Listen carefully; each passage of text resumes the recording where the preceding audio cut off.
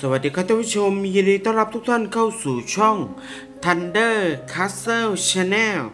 โค้ดโอ่งประกาศลาเก้าอี้กุนซือสิงเจ้าท่าแบบสายฟ้าแลบแฟนท่าเรือช็อก โค้ดโอ่งดูสิทธิ์เฉลิมแสนกุนซือการท่าเรือ FC ประกาศลาออกจากตำแหน่งกุนซือ หลังพาทีมทำผลงานไม่ได้เป็นไปตามเป้าหมาย ขณะเดียวกันสิงห์เจ้าท่าประกาศแต่งตั้งโค้ดอูสสราวุติพันธ์ที่ปรึกษาด้านเทคนิค comeback กลับมาคุมทีมชั่วคราวจนจบเลกแรกหลังจากที่ก่อนหน้านี้นะครับการท่าเรือ FC บุกไปพ่ายนครราชสีมามาสเตอร์ FC 1ประตูต่อ3ในศึกรีโว่ไทยลีกนัดที่ 11 เมื่อคืนวันอาทิตย์ที่ 7 พฤศจิกายนที่ผ่านมา ล่าสุดค่ำของวันที่ 10 พฤศจิกายนนะครับ ทางโค้ดโอ่งดูสิทธิ์เฉลิมแสนกุนซือใหญ่ของการท่าเรือ FC ได้แจ้งต่อผู้บริหารสโมสร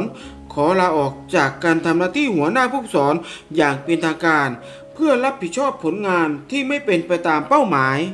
โดยทางโค้ดโอ่งนะครับก็ได้กล่าวว่าการนำทีมสู่เป้าหมายถือเป็นความรับผิดชอบหลักของตน ในฐานะหัวหน้าผู้สอน เมื่อผลงานการแข่งขันไม่เป็นไปตามเป้าหมาย ผมขอแสดงความรับผิดชอบ ด้วยการยุติบทบาท เพื่อให้ผู้บริหารได้พิจารณาผู้ที่มีความเหมาะสมต่อไป ผมขอขอบคุณโอกาสดีๆ จากสโมสรแห่งนี้ และขอขอบคุณกำลังใจจากแฟนบอลท่าเรือทุกๆคน ผมจะไม่มีวันลืม มิตรภาพที่ดีที่เรามีให้แก่กัน ขอบคุณมาดามแป้งและผู้บริหารทุกท่าน ที่ให้โอกาสได้กลับมาทำหน้าที่ที่สนามแพทย์แห่งนี้อีกครั้ง และขอโทษที่ไม่สามารถทำตามเป้าหมายให้ได้สำเร็จ โค้ดโอ่งกล่าวทิ้งท้ายทางด้านมาดามแป้งนวลพันธ์ล่ำซำประธานสโมสรของการท่าเรือนะครับ ก็ได้กล่าวว่า นับเป็นเรื่องที่น่าตกใจ หลังทราบข่าวการตัดสินใจของโค้ดโอ่งในครั้งนี้ เพราะแป้งเพิ่งกลับมาจากภารกิจทีมชาติไทย รุ่นอายุไม่เกิน 23 ปีที่ประเทศมองโกเลีย ซึ่งค่อนข้างกดดันและเครียดมาก เพราะเป็นความหวังของแฟนบอลชาวไทย จึงอาจไม่ได้เข้ามาคุกคีกับทีมงานเหมือนเช่นเคย และปล่อยให้เป็นหน้าที่ของทีมงานสตาฟโค้ชทุกคน ต้องขอขอบคุณโค้ชโอ่งที่เข้ามาร่วมงานกับสโมสรการท่าเรือ และขอบคุณสำหรับความพยายาม ทุ่มเททุกด้าน แป้งเห็นถึงความตั้งใจของโค้ชโอ่งต้องยอมรับวิถีฟุตบอล และต้องลุกขึ้นเดินหน้าต่อไป เพราะเรามีภารกิจสำคัญที่นำพาทีมไปสู่เป้าหมาย และเชื่อได้ว่าแฟนบอลทุกคนจะเข้าใจ และพร้อมมาเป็นกำลังใจให้กับทีมต่อไป ขอบคุณโค้ดโอ่งและขอส่งกำลังใจให้กับโค้ดอูดด้วยอีกคน มาดามแป้งกล่าวทิ้งท้าย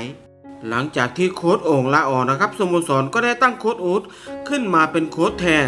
และล่าสุดนะครับก็ประเดิมชัยชนะได้สำเร็จ เมื่อเปิดบ้านเฉือนเอาชนะราชบุรีมิตรผล FC ไป 1 ประตูต่อศูนย์จากประตูชัยของบดินผาลา ก็ต้องมาติดตามกันต่อไปนะครับว่าเป้าหมายต่อไปของโค้ดโอ่งนั้น จะไปคุมทีมไหนในไทยลีกมาที่เรื่องต่อมานะครับบิ๊กบอลพอใจชนบุรีบุกเชือดประจวบ เกมหน้าดวลบุรีรัมย์หวังมีแต้ม บิ๊กบอลศักดิ์สินสิงโตทอง ผู้จัดการทีมฉลามชนชนบุรี FC ทีมดังแห่งศึกไทยลีก ออกมากล่าวหลังเกมที่ทีมบุกไปเอาชนะต่อพิฆาตพีทีประจวบ FC 2ประตูหนึ่งก่อนเกมหน้ามีโปรแกรมที่จะพบกับปราสาทสายฟ้า บุรีรัมย์ยูไนเต็ดในวันเสาร์นี้ โดยผู้จัดการทีมของชนบุรี FC นะครับ ก็ได้กล่าวว่า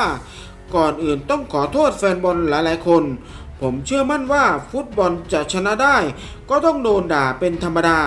ลูกเกมครึ่งหลัง เราอาจจะดูติดขัดกันไปหน่อย แล้วเราก็ต้องชื่นชมทางพีทีประจวบ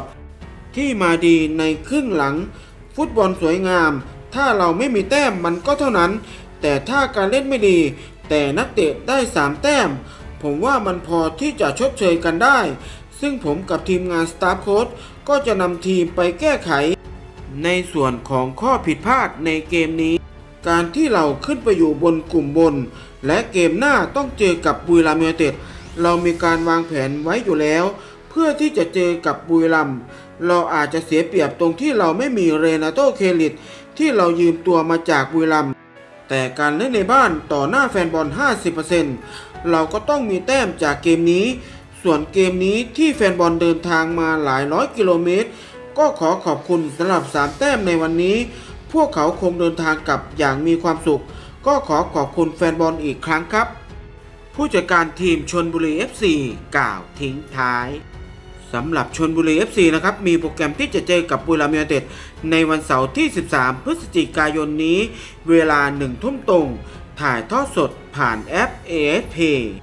แล้วก็จบลงไปแล้วครับกับข่าวสารความเคลื่อนไหวของวงการฟุตบอลไทยในวันนี้ สุดท้ายนี้ขอขอบคุณแฟนคลับทุกท่านที่รับชมคลิปนี้ ใครชอบอย่าลืมกดไลค์กดแชร์ กดติดตาม และกดกระดิ่งแจ้งเตือนกันด้วยนะครับ แล้วพบกันใหม่คลิปหน้า สวัสดีครับ